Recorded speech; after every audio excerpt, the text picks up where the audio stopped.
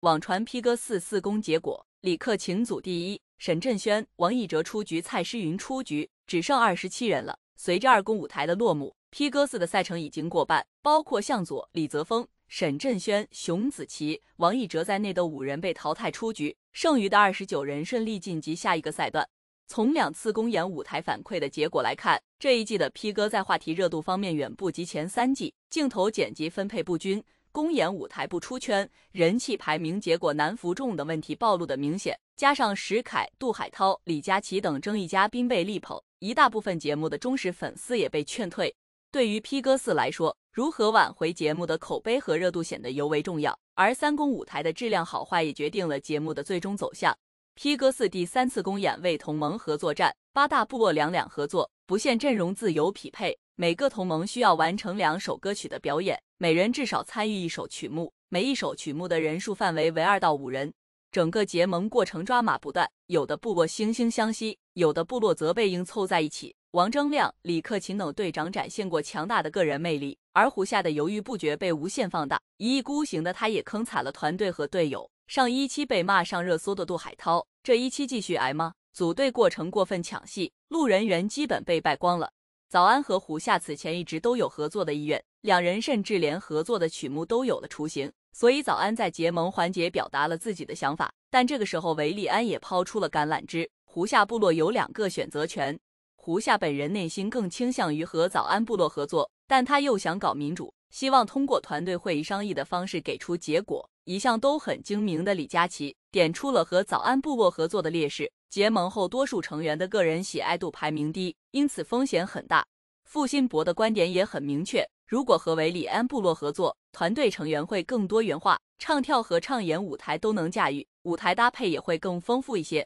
胡夏部落的内部意见明显不够统一，团队成员更倾向于韦礼安部落，而胡夏本人更喜欢早安。胡夏部落分别和两个部落进行沟通。早安部落信心不足，对于唱跳部分也没有啥想法，而韦礼安部落有备而来，沟通过程自信满满，愿意尝试各种类型的舞台。表面民主的胡夏，其实内心还是有自己的想法的，他不愿意放弃和早安合作的机会，于是结盟过程也比较纠结。李克勤部落的目标明确，尽可能和炙热弟弟阵营中的部落合作来弥补短板，而有长靖部落恰好能满足团队的一切需求，于是李克勤主动发出邀请。即使庆联过来抢人，李克勤丝毫不礼让了，持续输出来抢人为中心扩写的内容。在这场充满策略和联盟的竞争中，李克勤展现出了他敏锐的眼光和果断的决策能力。他所在的部落有着明确的目标，寻找一个能够补充自身不足，同时又能带来新鲜活力的合作伙伴。在炙热地的阵营中，有长进的部落显然成了最佳选择。他们不仅具备强大的实力，而且在多方面都能与李克勤部落形成完美的互补。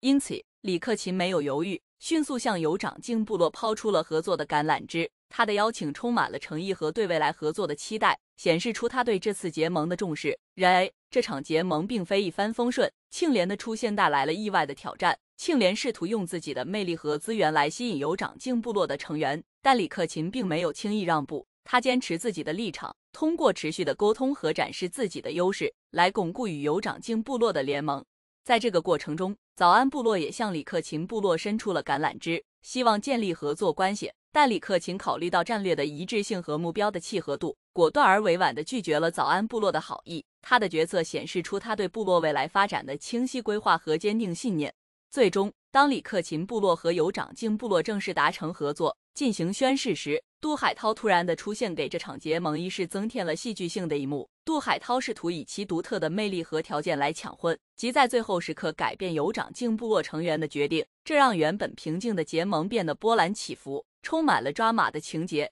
李克勤面对这样突如其来的挑战，没有慌乱，而是更加坚定地展现了他的领导力和对部落的承诺。他通过理性的对话和深入的交流，最终巩固了与有长靖部落的联盟，让两个部落的合作得以顺利进行。这一系列的事件不仅考验了李克勤的智慧和策略，也展示了他在竞争中不屈不挠的精神。事实上，李克勤在与早安部落的谈话中已经表达了自己的决定。无奈杜海涛把别人的客套话当成有组队意愿，在别人都已经要结盟的环节打断别人，不顾及团队的想法，自己成为话题人物。杜海涛的这一举动。让队长早安也慌了，毕竟他们还在等着胡夏部落的决定，场面异常尴尬。早安只好再次去和胡夏确认，胡夏也没有拒绝，选择和早安部落组队。而李克勤部落和有长靖部落也顺利结盟。分组的环节已经够让人无语了，没想到他在选歌环节继续输出，看到屋顶着火就开始 Q 沈梦辰，对自己和团队唱跳能力没有一个很好的判断，结果让整个团队都陷入不和谐的境地。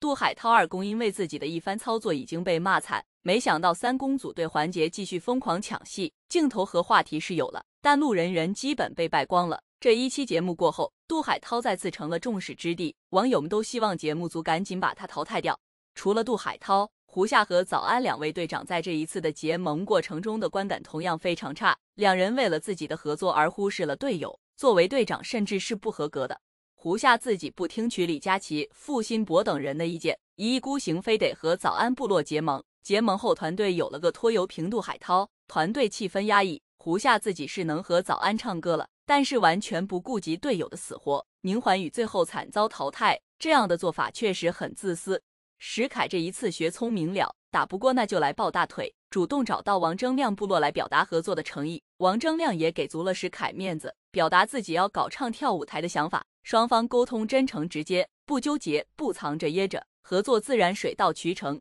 以下是以臭哥哥和臭弟弟双向奔赴，兄弟俩不愧是相爱相杀的关系。结盟后，团队的氛围感非常好。王铮亮发挥自己在音乐方面的才华，石凯则成了团队的气氛担当，强强合作。舞台整体的观感也很舒服，为中心扩写的内容，在披荆斩棘的哥哥这个节目中，臭哥哥和臭弟弟的双向奔赴成为了一道独特的风景线。这两兄弟在屏幕上展现了他们特有的相爱相杀的关系，让观众看到了他们之间深厚的兄弟情谊。当他们决定结盟时，整个团队的氛围立刻焕发了新的活力。王铮亮作为团队中的一员。充分发挥了自己在音乐方面的才华，他不仅能够演绎各种风格的歌曲，还能够在音乐创作上提供宝贵的意见，使得团队的表演更加丰富和专业。他的音乐才能为团队带来了无尽的灵感和可能性，让每一次的舞台表演都有了独特的艺术魅力。而石凯。则是团队中不可或缺的气氛担当，他总是能够用他的幽默和活力缓解团队中的紧张气氛，